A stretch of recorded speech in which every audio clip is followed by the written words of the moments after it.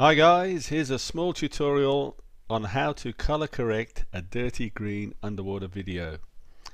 So the first thing we're going to do is be in the media window here. So have this one highlighted. Then we go over to our uh, location where uh, our computer is, like all the folders and drives on your computer. So I'm going to go to my T drive, down to the Fish View camera folder, go to recordings, and in this folder here is the videos I want. I'll, I'll take these two videos here. So I'll drag this one in to the media pool. Now there is another way to do this. You can go to your computer, go to the T drive, go to Fish View camera, go to recordings, go to that folder, and there's the other video there, the same as that. So I can just drag this straight into the media pool. Alright, so we've got our two videos there. Now the next thing we do is we go to the edit window and we bring the media down onto the timeline. There's the video there. We can run through it and see where it is. Okay. Now let's uh, just go along to pick up pick out a scene where we're happy. Uh, let's get some bit of crab action here. Yeah, all right. Yeah, it's what what do we got around here? Let's just play that for a minute. All right. We'll stop there. I'll just go back a little bit. Now you can use you can stop with your K key on your computer and then you can rewind with your J key. So I'm rewinding till I get that couple of fish in there. Alrighty. Okay, I stop. Now, there's a couple of ways to cut this here. I've set up my uh, keys, uh, F1, F2 keys to be able to cut, but uh, for, for somebody that hasn't done that, you can just come along to your blade, you can cut that there, go back to your pointer, highlight that, and press backspace. That'll get rid of it. Okay, and backspace again, and we've cut there. Then we go along and we have a look. Say we don't want too much. Okay, all right. The fish disappears there. Oh, that's a good shot. We'll just that's yeah. All right, we'll stop there. He's not interested. Again, you can do it with your blade of your pointer, highlight it, backspace, it's gone. Okay, so now we come along to an interesting part of the scene. Let's go here. Well, you, I'll just rewind that with my J key. Rewind. Whoops, stop. There. Yep, about there. Okay, next step. We go to the color window. We're now in the color window so we have our video here, we have our node structure here, which Vin DaVinci likes to use, and it's a great system. Over here we have our color wheels for controlling the lift, which is the darks, the gamma, which is the mids, and the gain, which is the highlights, and the offset is the whole lot.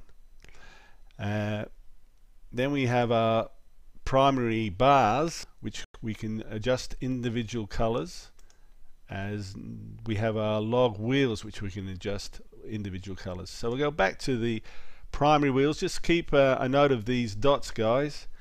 Over here we have our uh, looking at our image. We can we're on the the parade chart which is showing us that the greens are very much in control here. There's a lot of greens. This is the highlights, this is the darks, this is the midtones.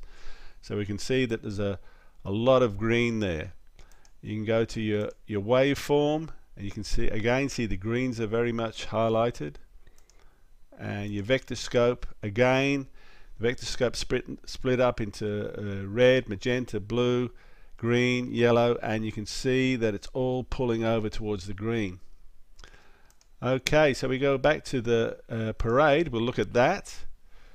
Now this is our uh, in our first node this is the original video that we got and we'll give this a label okay? Node label.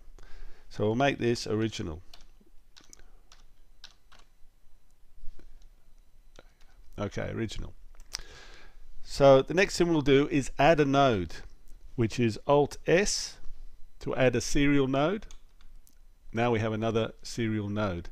We'll give this one a name as well and we'll call this color grade. Color grade. Okay. So now we can see that we have greens really dominating the colors here. So the first thing we will do is we'll get the highlights up.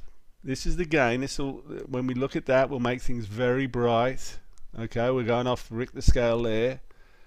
But so we want to want to get our highlights up around about don't go over 1023 keep keep it around about 896 around there and we can see that the the darks are a little bit crushing there so we come down to our lift, which controls our darks.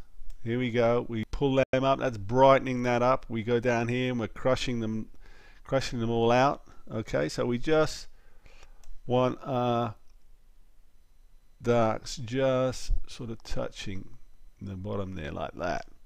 And then we've got our mid-tones. Okay, so we can just work that back and forward till you're happy with the mid-tone there. All right? So that's pretty good for our highlights. But now we can see green is still dominating everything. So let's go to our primary bars. And again, it's the same. It's lift is the darks, gammas the mids, gains is the highlights. So we can see that the highlights of the greens is really, really being highlighted. So let's click on here and drag the greens down. And you can see See the image changing. There it is. It's coming down until we get the blue there balancing. Now we can keep going, but the reds are coming in too much. Well, really there, yeah. So I'm going to balance it about there with the, the green and the blue channel. Okay? So we've crept up a little bit off the bottom. So we can bring down our lift.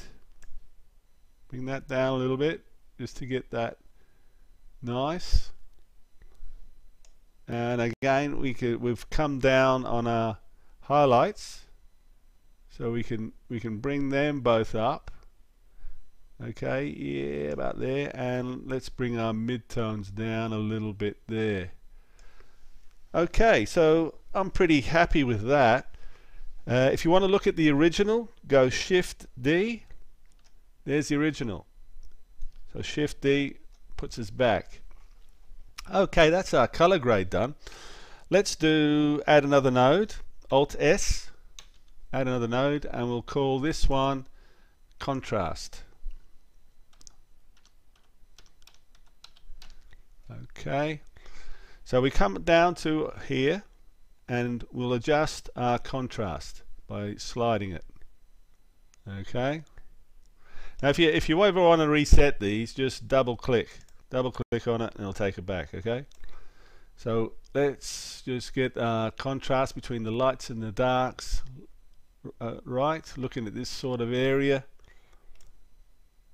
okay that looks alright next we'll add another node alt S and we'll call this one saturation a saturation just adjusts the color to put in more or less color. Now you see our parade now is looking fairly good from what it originally was. So let's add some saturation, which is here. Let's slide the saturation up. Now you can go crazy with saturation and make it look psychedelic, but uh, we don't really want that. We want it looking kind of natural. So we'll bring that down I reckon about there. Okay, on 60 there. We're looking good in our parade. We're up to 1023 there. A little, perhaps a little bit crushing on the bottom. We can just maybe take that up just a little smidge. Okay, well, Shift D back to the original. That's the original. They come off the camera. Color graded. Now, the other thing you can do while you're here, while I'm here, is uh, if you want to look at something, you can press on here and that will take out the saturation. You can press on there and I can take out the contrast and you can press on there and you can look at the original video. So let's finally play the video.